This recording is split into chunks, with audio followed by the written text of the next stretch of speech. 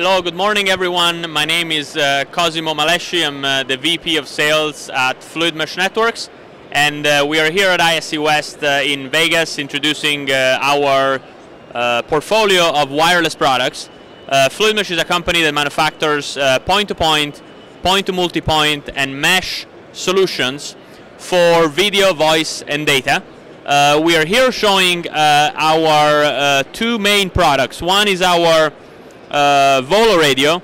Volo is a, a, radio that can be used for point-to-point and point-to-multipoint link uh, with a very aggressive uh, price point, uh, starting with an MSRP of uh, roughly $500. And then we are also introducing Otto, which is our new radio, which is um, 500 megabits per second link uh, solution with a range of up to 10 miles that we're launching here at the show.